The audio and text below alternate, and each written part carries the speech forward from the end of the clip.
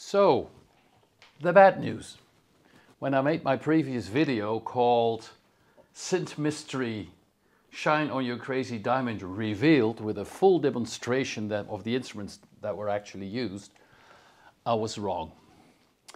The good news is that we made a step because we got a reaction. I got a reaction, a comment from a gentleman whom you may know and it's called Jon Carin.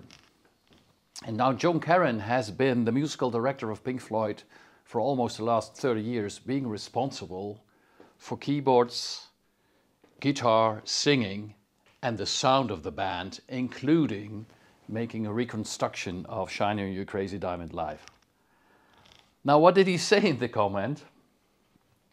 Hi there.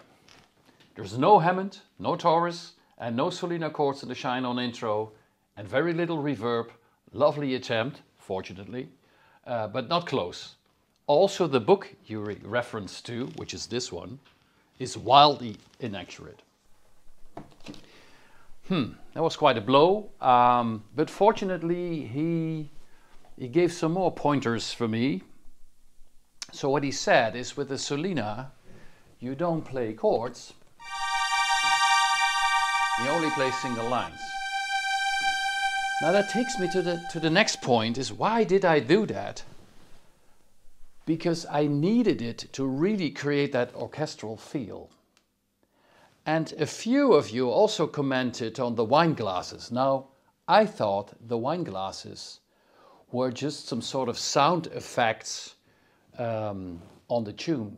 Uh, and there I was also completely wrong because a friend of mine pointed me to um, a recording that's actually on YouTube of the wine glasses. And uh, well, let's have a listen to it. This is what the band recorded. I'll solo it as part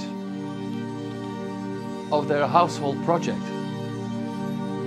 Listen to this.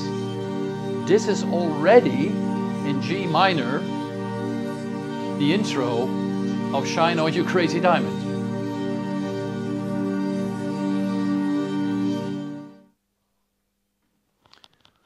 Which I simply didn't know and know by now. Um, then you have the bass line, and also there Jon Carin said, and I, I don't know fully understand what he means, but what he said is it's a group effort. So there is much more going on than just the Taurus. Actually, there is no Taurus in there.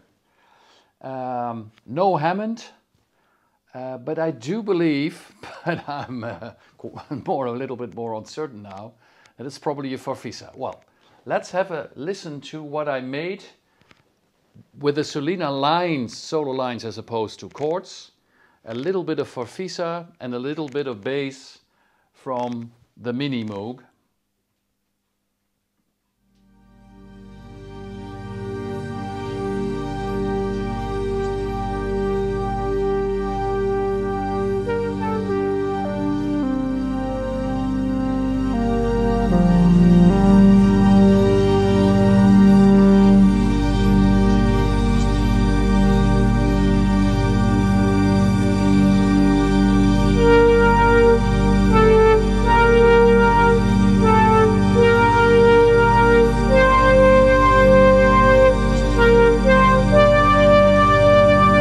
Well, as you can hear, it's even closer to the original.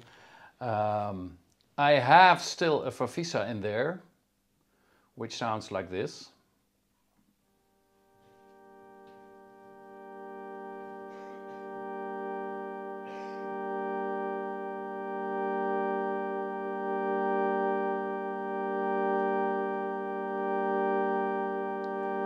And the key question is whether we really need this. It's, it's not that loud in the mix. And I think I'm still overdoing it listening to it now with the uh, delay and reverb on the, on the Mini Moog.